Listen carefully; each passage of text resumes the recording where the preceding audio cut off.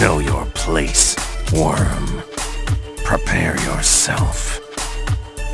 Damn Saiyan. The first thing I want to ask is Akira Toriyama, where was this level of design in any of the characters in Dragon Ball Super's many, many universes? Now, we do have some gems in the Tournament of Power, including Jiren, even though it's a very simplistic style, he still looks pretty badass. Dyspo looks pretty cool, and there's a couple few other gems that really squeak by, but the level of design that I see in Android 21 for Dragon Ball FighterZ is just Akira Toriyama at his best, and I would have loved to see some of this in the Tournament of Power for some of the other character designs because a lot of those character designs are essential throwaways. And I guess maybe seeing as how the universes will be destroyed or eliminated, erased anyway, then they can be throwaways. But again, I would have loved to see a lot more characters that had more detail like this. Android 21 has been described as being as smart or smarter as Dr. Gero,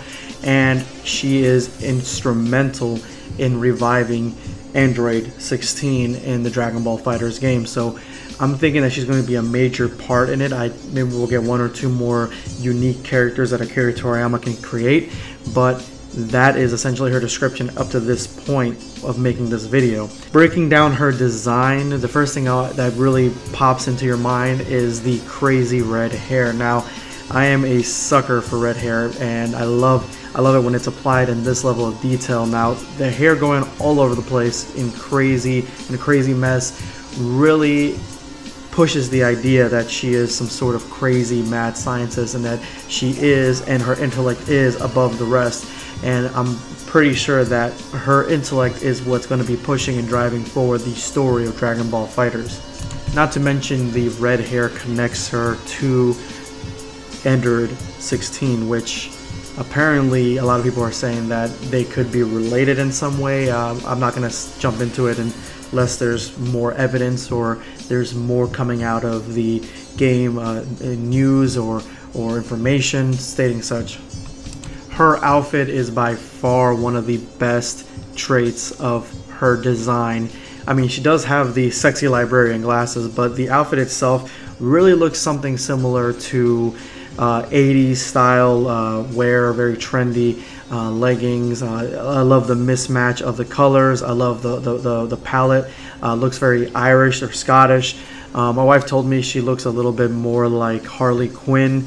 And seeing as how Akira Toriyama created Marcarita and her clown god of destruction, it seems like he's probably been influenced a little bit by Batman.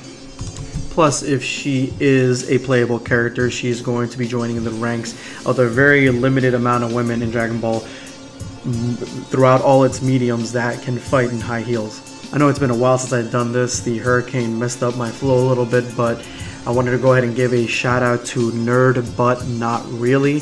He commented on my Akira Toriyama Master of Subverted Expectations video. I'm so glad you were safe and blessed, bro. My fam had to evacuate too. Power still isn't on. Congrats on your quick page success as well. I hope to be like you soon. Welcome to stop by, Star.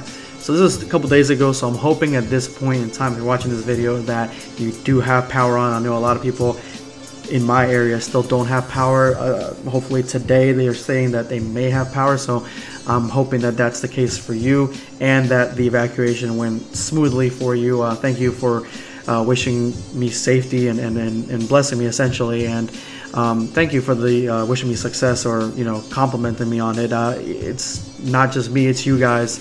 You guys are watching the videos and commenting, liking, and being part of uh, my page and uh, the community that we're building here. So, really means a lot. Thank you so much.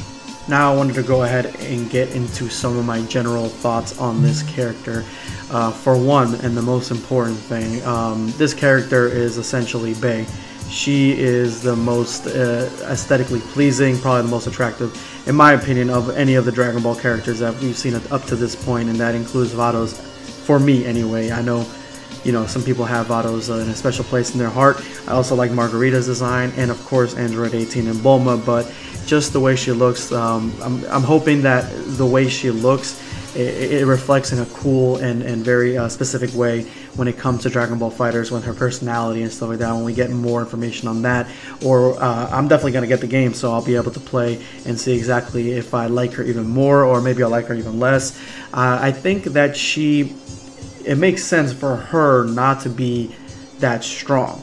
So the androids, uh, the further the number went down for excluding Android 8, the more powerful the androids became. So essentially, Android 20 was, you know, the clown android. He was weak, uh, weaker than uh, Dr. Gero's own model. Then you have 18 and 17. 17 is slightly stronger than 18, and then you had 16 who could uh, basically tank imperfect cell, which 17 could not. So when the numbers go up, they get stronger. Now they could change this up at some point in any given circumstance. They could change this up and make her strong.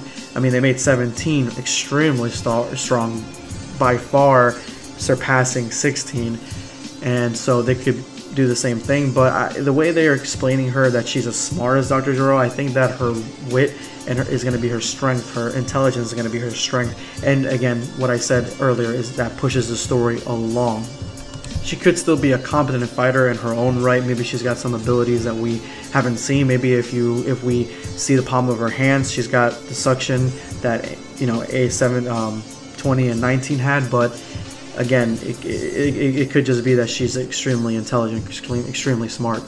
Now, is she completely artificial or is she a sort of cyborg hybrid like 18 and 17? So I would like her to be a cyborg uh, hybrid personally, just because you know in that case she can go and settle down, sort of like 18 did.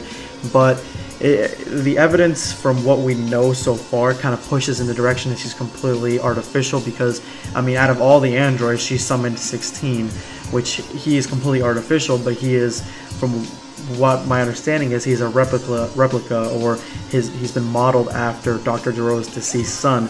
So she could have some sort of special connection to this android. Um, again, people are speculating that this could be, you know, a modeled after his sister, so she could have that special bond, um, the android anyway. Uh, but again, I really hope that she is half artificial and half um, human as well, so that way, because I think that that's where we get the most amount of her inner strength um, just like 17 and, and 18. Well, 18 is pretty strong, and 17 is extremely strong. I think that human aspect, that earthling aspect, is what really pushes you further beyond when you're an android. But those are essentially my thoughts on this character, the character design. Definitely had to make this video. Let me know in the comments below what you guys think of this character, and I want to ask you guys, where does she fall in line when it comes to your the, the, the best female character designs that you that you've seen in Dragon Ball Super. Drop me a like or Dragon Ball in general. Drop me a like if you like my video, and it's gonna be Dragon Ball Black signing off.